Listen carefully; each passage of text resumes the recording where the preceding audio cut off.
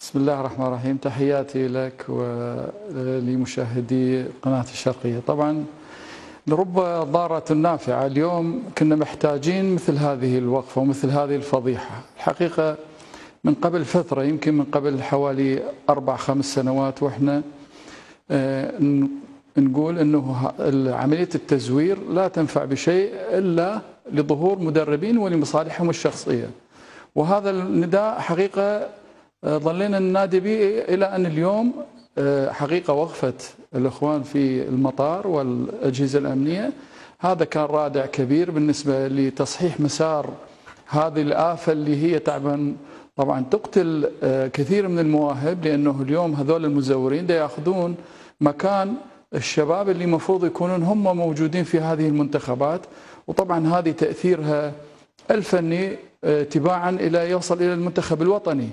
ولذلك إحنا اليوم نشوف عندنا بالفئات العمرية متميزين يأخذون بطولات والمدربين مكيفين وحاصلين على مراكز متقدمة ويعتبرون نفسهم أنهم مدربين وحققوا نتائج كبيرة للعراق. بالحين هي طبعا لا تعتبر نتائج ولا تعتبر إنجازات لانها كانت حقيقة بالخداع والغش والتزوير. وهذه طالت كثير من المنتخبات وكثير من البطولات.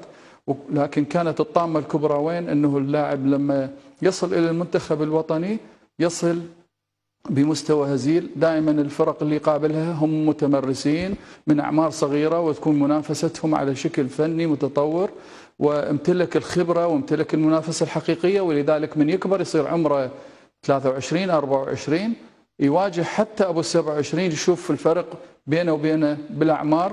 يصطدم لاعبنا العراقي. بهؤلاء اللاعبين اللي في في آسيا وفي عالم وفي كل مكان. فلذلك هاي أثرت حتى على مستوى المنتخب الوطني وهذا التزوير هو حقيقة آفة كبيرة بالنسبة للاعبين العراقيين ولسمعه الكرة العراقية، أما اليوم ما حدث فأنا بالنسبة لي شخصيا اعتبره إنجاز كبير بالنسبة لتصحيح مسار الكرة العراقية والخطوة الأولى للابتعاد عن هذا التزوير واليوم راح يصير درس كبير بالنسبة لكل اللاعبين والاتحاد والمدربين وكل المشرفين. بالإضافة إلى هذا اريد أذكر أنه اليوم المدرب يقول أنا ما أتحمل مسؤولية هذا التزوير لأنه اللاعبين انعرضوا على لجنة متخصصة لكشف الأعمار. حقيقة الاتحاد عاقب المدرب وعاقب اللاعبين ويجب أن يعاقب هذه اللجنة لأنه كان مفروض هذه اللجنة تتأكد بطريقة وأخرى وإحنا أكدنا والإعلام والصحافة وكل المعنيين بالرياضة كان ينادون خلال هذه الفترة الأخيرة بعدم التزوير لأنه هذه الآفة تقتل المواهب وأيضا قلت من شأن الكرة العراقية وأصبحنا في صورة غير يعني صورة غير محببة والناس بدأت تمتعض من هذه الأمور حتى خارجيا عن مستوى الاتحاد الآسيوي أو الاتحاد الدولي طيب سيد أحمد يعني مع كل هذه الظروف الفنية التي تفضلت بذكرها يعني هل كان الهدف بناء آه، فريق كرة قدم وطني عن طريق التزوير؟ نعم آه، آه، سيدتي شوفي كل الإنجازات السابقة وصلوا كأس آسيا ووصلوا للشباب وللناشئين وأخذوا بطولات وصعدوا كأس العالم. والحقيقة هي غصة في نفسنا لأنه مو استحقاق لأنه أخذوها بالتزوير. المشكلة هم يأخذون هذه البطولات والمدرب مكيف والجمهور مكيف والناس تعتبره إنجاز للعراق. وحتى بعض المرات الجمهور بدأ يتعاطف يقول لك خلي يزورون المهم إحنا نريد إنجاز يفرحنا.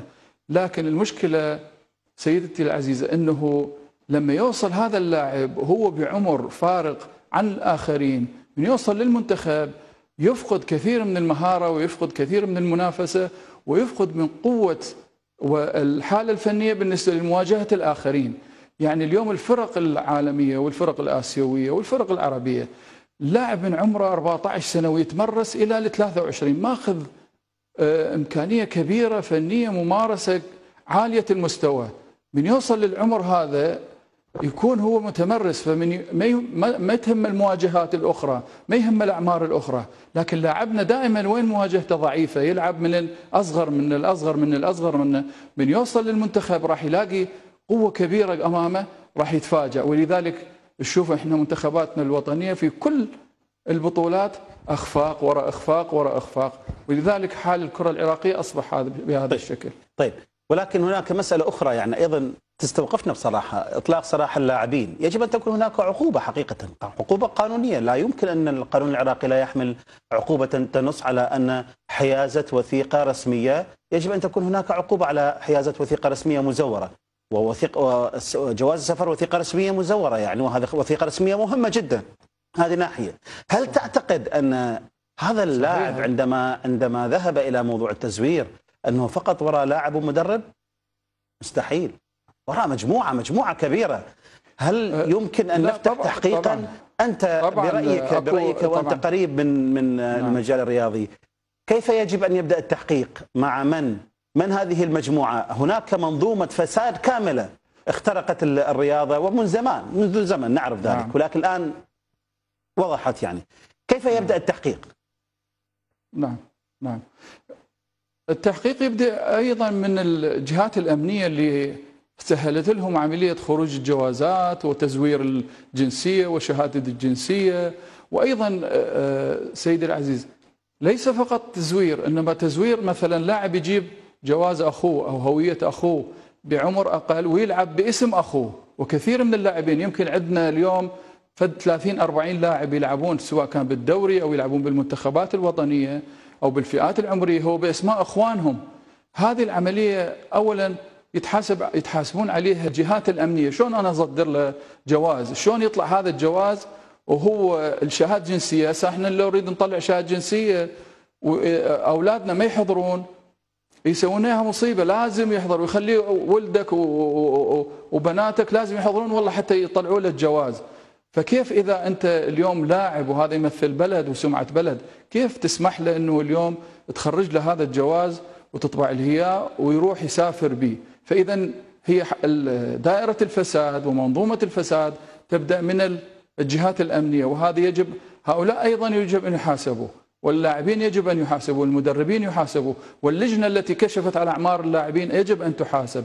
وهذه المنظومة يجب أنه اليوم تكون لها درس قاسي حتى لا تتكرر بالمستقبل. وأنا باعتقادي أنه اليوم آه، يعني كل الجهات يجب أن آه، تتخذ الإجراءات الصحيحة سواء القانونية أو التحقيقية أو الإجراءات على مستوى الاتحاد اللاعبين والمدربين. طيب سيد أحمد أنت كلاعب دولي سابق شاركت طبعا في مباريات حول العالم ومثلت العراق في دول عديدة. كيف يمكن لهذه الحادثة؟ طبعا يعني أكيد الانسحاب من البطولة تم يعني. كيف يمكن لهذه ال- الحادثة أن تعكس وجه ال- العراق الرياضي والحضاري؟ يعني كيف سيتلقى العالم هذا الخبر؟ هذه الفضيحة برأيك.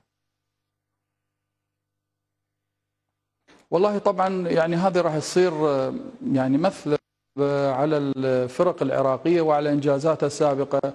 وطبعا لو يريدون يحققون بها كاتحادات آسيوية وبلدان يريدون كانت منافسة يريدون ممكن إنه العراق يتعاقب آه، على مثل هذه الفضيحة. والحقيقة يعني إحنا عمرنا يعني طبعا حتى لا أكون أنا يعني حتى أكون منصف في هذا الموضوع في زمننا أيضا كان لاعبين مزورين.